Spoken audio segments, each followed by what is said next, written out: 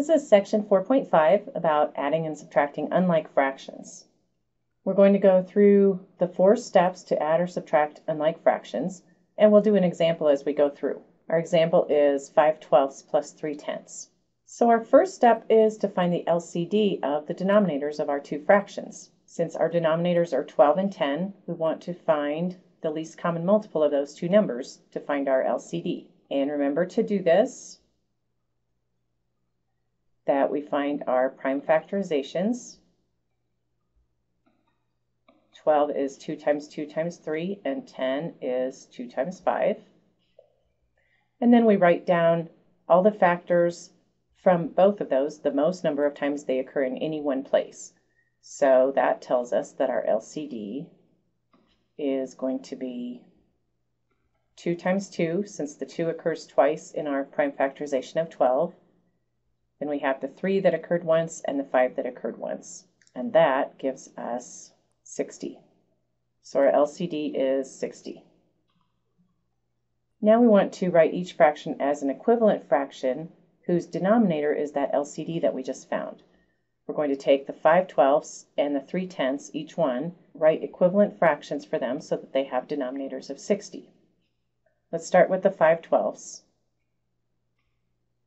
Remember when we do this, we want to find the number to multiply the denominator by so that we get the denominator that we want.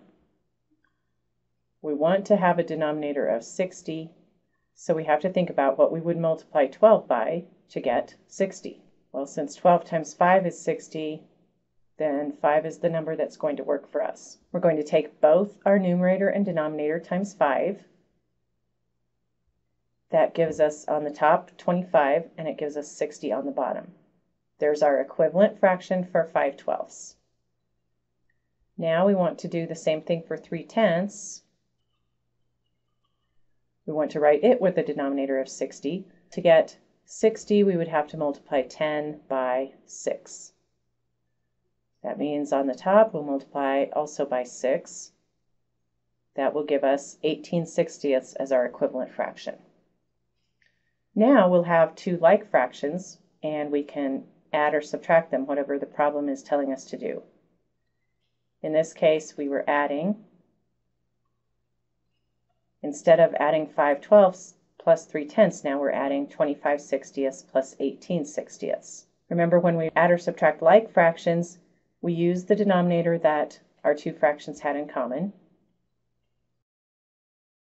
Our denominator will be 60.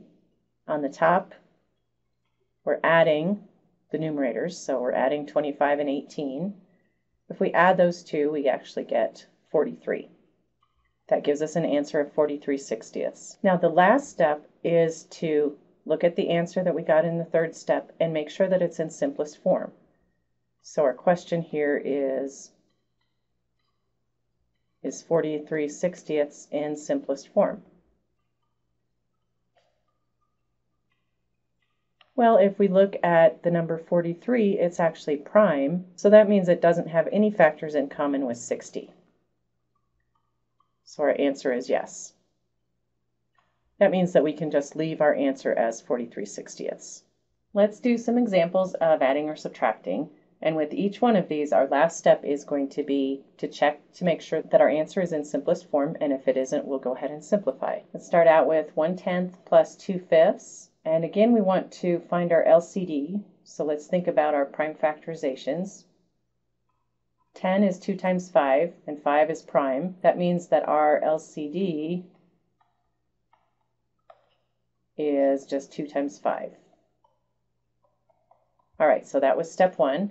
For step two, we want to take each of our fractions and write it with our new LCD. Well, for the first one, the 1 tenth, we don't have to do anything because it already has the denominator we want. For the 2 fifths, we want to write it so that it has a denominator of 10. Well, to get a 10 here, we would have to multiply the 5 by a 2. And that means on the top also we'll be multiplying by 2. And that gives us an equivalent fraction of 4 tenths.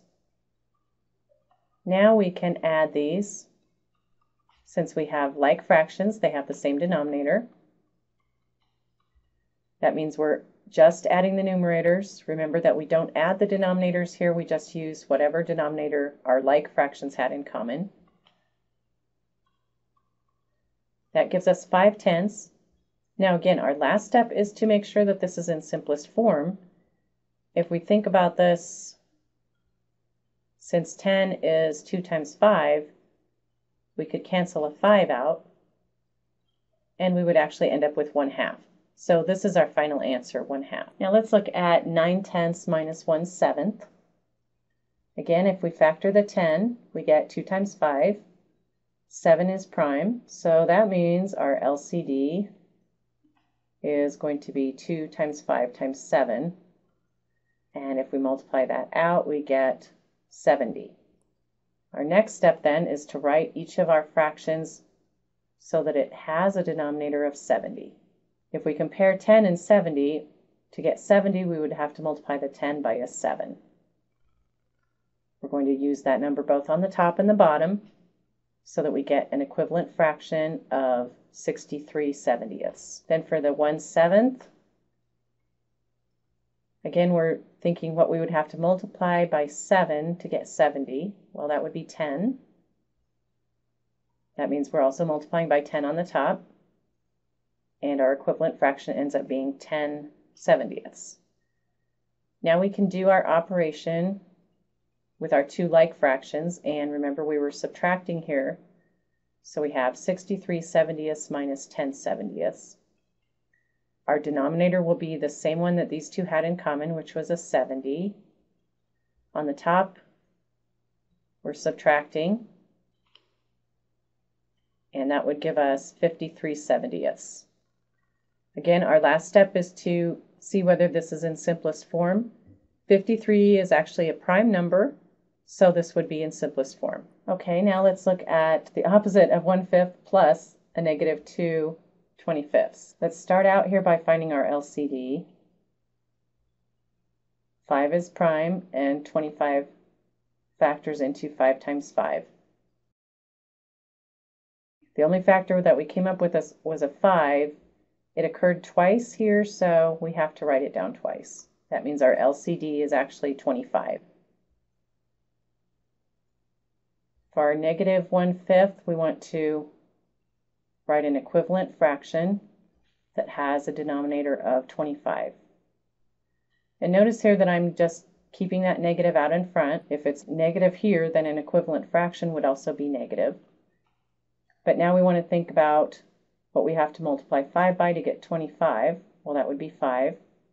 So we're multiplying by the same number on the top. And that gives us an equivalent fraction of negative 5 25ths.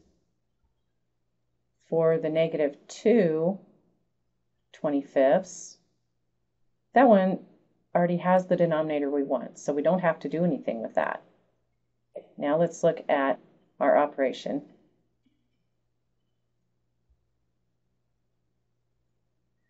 And notice what I just did. I took our negative that was in front of our 5 25ths and I put it up here with the 5 in the numerator. That way we can just look at our denominator of 25 and on the top we have a negative 5 plus a negative 2. If we add those two, we end up with negative 7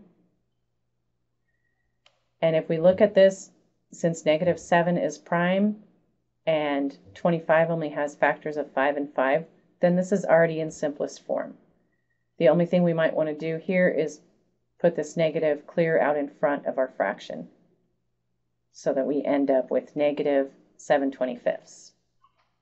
One more. In this one, again, we have some negatives that we'll have to deal with, but our first step is to find our LCD. Notice that 7 and 2 are both prime, so for our LCD, we'll actually just have each of those factors once, and that gives us an LCD of 14. For our negative 5 sevenths, to write it, to write an equivalent fraction with a denominator of 14, we would have to multiply the 7 by 2 to get 14. So we're multiplying by 2 on the top. Oops, and we still have our negative out in front here. And then on the top we have 10. So our equivalent fraction is negative 10 fourteenths. For the negative 1 over 2, to get 14, we would have to multiply 2 by 7. And that gives us on the top a negative 7. Now we have negative 10 over 14 minus negative 7 over 14. I went ahead and put this negative in the numerator with the 10 in this first fraction. We have like fractions, they both have a denominator of 14.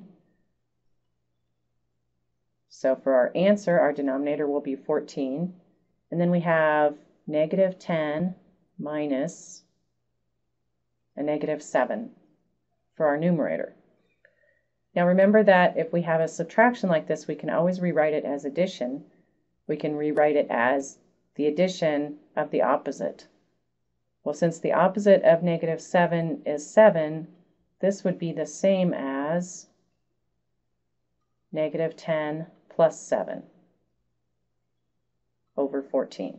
Again, if you see two negatives in a row like this, you can think about it as them just canceling each other out and turning into a plus. If we add negative 10 and 7, we get a negative 3. That gives us an answer of negative 3 fourteenths. Since 3 is prime and the factors of, of 14 are 2 and 7, there's nothing in common and this would be in simplest form. Again, if we wanted to, we could pull that negative all the way out in front. So that gives us negative 3 fourteenths. Here's some more examples. These ones are a little bit more complicated as far as finding the LCD. In this first one, we have 3 25ths plus 1 15th. For our LCD, we're doing our prime factorizations. 25 is 5 times 5, and 15 is 3 times 5. So for our LCD, we have a 5 that occurs twice here, so we have to write it down twice. Then our 3 only occurs once, so we only write that one down once. And that gives us an LCD of 75.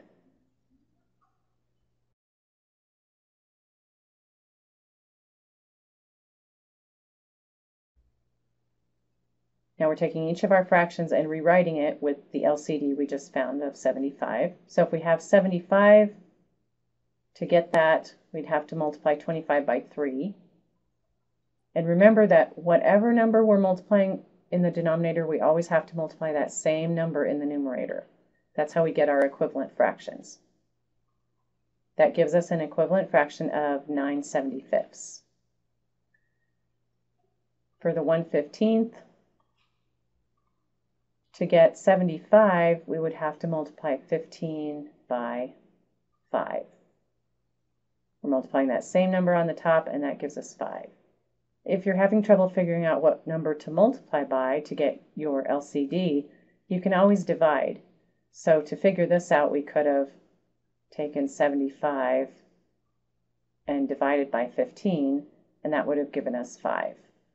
Now we have 9 75ths plus 5 75ths. We just substituted each of our original fractions with their equivalent fraction that we found. We're going to use 75 as our denominator. And on the top we have 9 plus 5, which is 14. Now let's check and make sure whether this is in simplest form or not. So 14 is 2 times 7, and we actually already have our prime factorization of 75 back here. So 3 times 5 times 5. Well, out of all those factors, there is nothing in common. That means that this is in simplest form.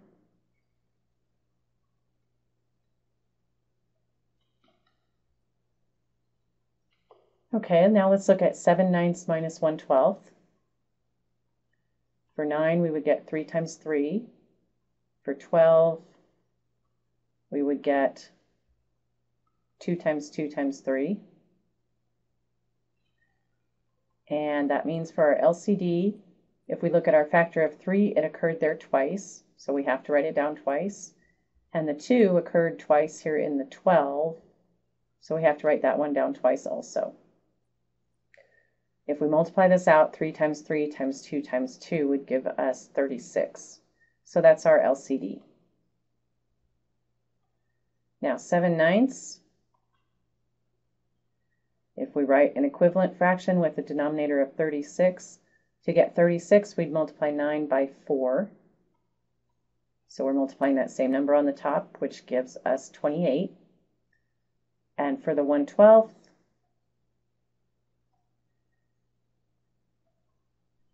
To get 36, we'd have to multiply 12 by 3, and that gives us an equivalent fraction of 3 36ths.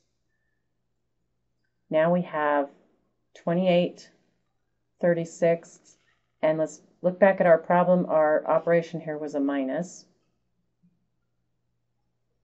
So we have 28 36ths minus 3 36ths.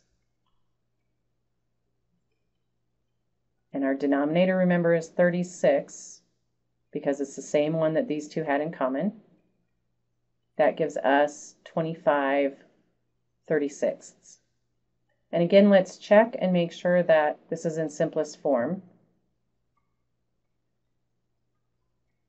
If we write our prime factorizations, and again, you can always go back with this with your LCD because you should already have a prime factorization. We know 36 from back here was 3 times 3 times 2 times 2. And again, we don't have any factors in common between the numerator and denominator, which means that this is in simplest form.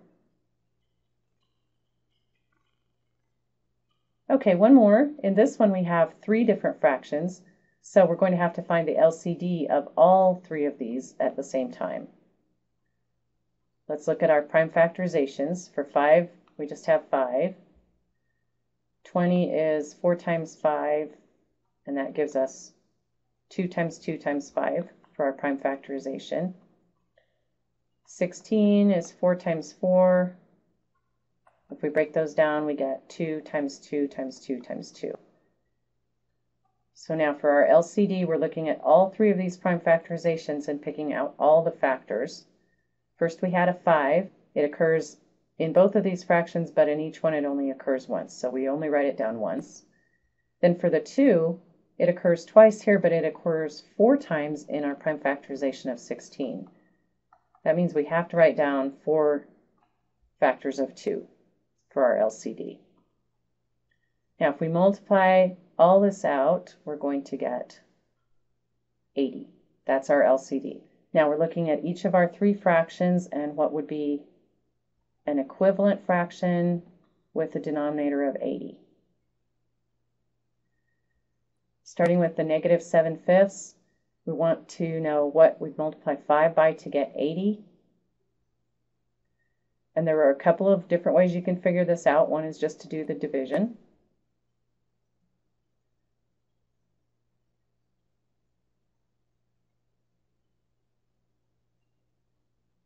Goes into 36 times, so that means to get 80, we'd have to multiply 5 by 16. That means we're also multiplying on in our numerator by 16, and 7 times 16 is going to give us 112. And we do still have the negative out there too. Our equivalent fraction is negative 112 over 80. Okay, now for the 3 twentieths,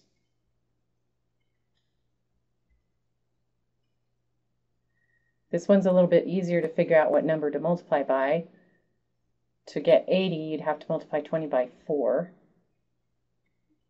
That means also multiplying on the top by 4. So our equivalent fraction there is 12 eightieths. And finally, with the 12 sixteenths,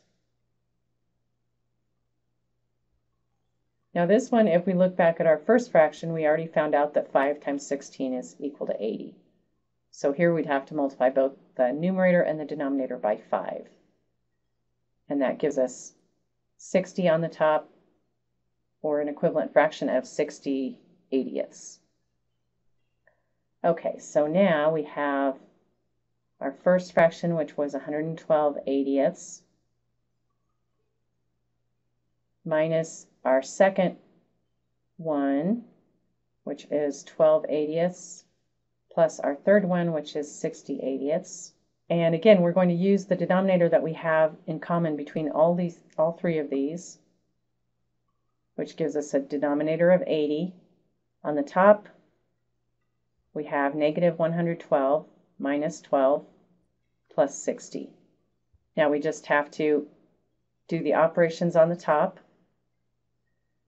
If we have negative 112 minus 12, this would be the same as plus a negative 12, and that would give us negative 124.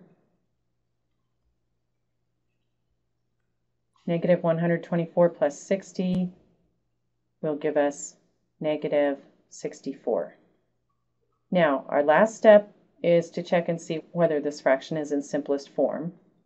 So let's think about our prime factorization of 64.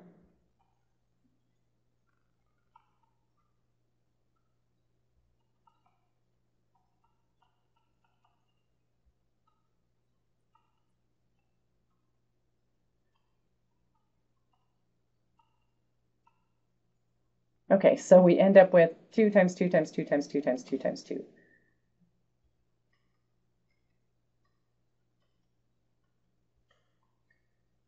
And then on the bottom, we already have our prime factorization for 80 back here. And now we have four different sets of 2's that we can cancel out. There's 1, there's 2, there's 3, and there's 4. That leaves us on the top with negative 2 times 2, so negative 4, and it leaves us with a 5 on the bottom. We reduced our negative 64 eighths our negative 64 eightieths down to negative 4 fifths. And again, if we want to, we can leave the negative up here with the 4, or we could write it out in front of our fraction. Another thing we can do by using a least common denominator is to help compare fractions. For example, if we have 3 fifths and 4 sevenths, it's a little bit hard to tell which one of those is the smaller of the two. And that's especially hard because they don't have the same denominators. If we had like fractions here, then all we would have to do would be to compare the numerators and we would know which one was less and which one was greater. So that's exactly what we're going to do. First, we're going to find the LCD of 3 fifths and 4 sevenths. Well, since 5 and 7 are both prime, then our LCD, will just multiply those two together and get 35. Now we're going to take each one of these two and write an equivalent fraction with a denominator of 35.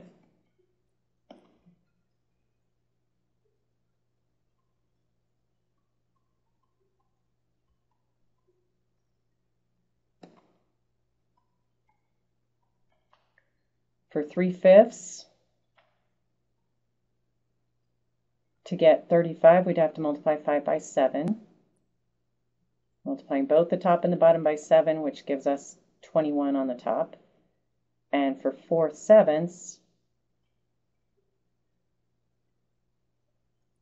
we'd multiply the 7 by 5 to get 35.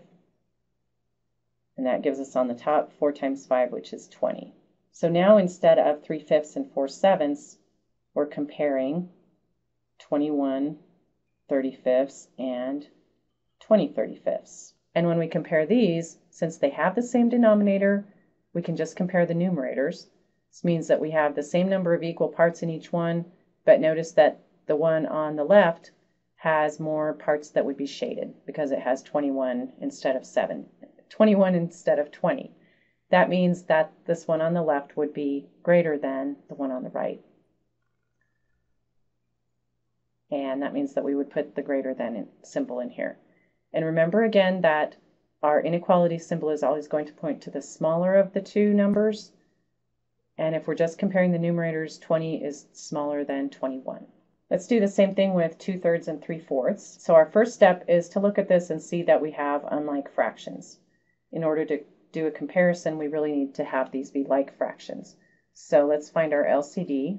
3 is prime, and 4 is 2 times 2. So for our LCD, we would have 2 times 2 times 3, which is 12 we're going to write an equivalent fraction for each one of these with a denominator of 12. So 2 thirds To get 12, we'd have to multiply 3 by 4. That means we're also multiplying in the numerator by 4, and that gives us 8. For 3 fourths, we'd have to multiply 4 by 3 to get 12. That means we're multiplying in the numerator by 3 also, and that gives us 9 twelfths. So now for our comparison, instead of 2 thirds and 3 fourths, we now have our equivalent fraction for 2 thirds, which was 8 twelfths, our equivalent fraction for 3 fourths, which was 9 twelfths.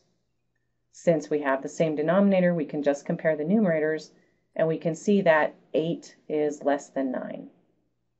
So the symbol that would go in here would be a less than. Now we can also evaluate expressions with replacement values. For this one, let's evaluate both x plus y and x minus y if we have these replacement values that x is equal to 2 thirds and y is equal to 3 fourths. So for the x plus y, we're still using our parentheses.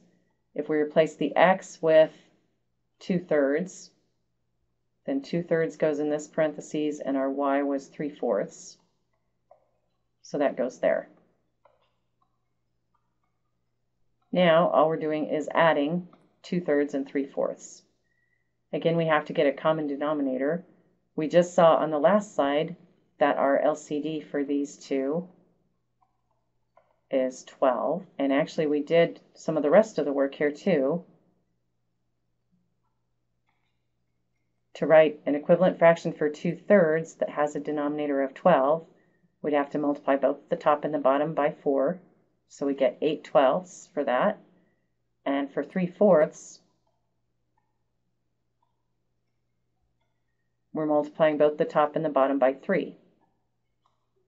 That gives us 9 twelfths. This means that 2 thirds plus 3 fourths is the same as 8 twelfths plus 9 twelfths. Then we have the same denominator in both. That means our new denominator is 12, and on the top we're just adding 8 and 9. That gives us 17 twelfths. Since 17 is prime, then this is in simplest form. Now let's do the x minus y.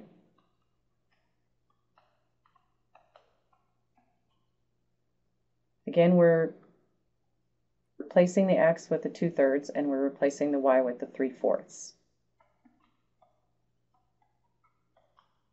Once we've done that, we can really just take off those parentheses. Now we've already figured out our LCD and we've already figured out our equivalent fractions for both of these. So we can just go ahead and write this part down. Now we have 8 twelfths minus 9 twelfths. Our denominator will be 12, and on the top, we're taking 8 and subtracting 9. That is going to give us a negative 1. Now, obviously, since 1 doesn't have any factors except itself, then this is in simplest form. So we'd have negative 1 12. Now let's do a word problem example.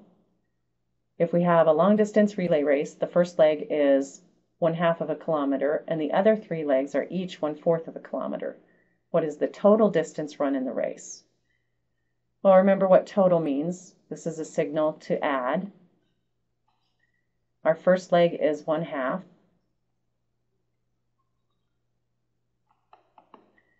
And the other three legs are each one fourth. So that means the second leg is one fourth. The third leg is one fourth. and the fourth leg is 1 fourth.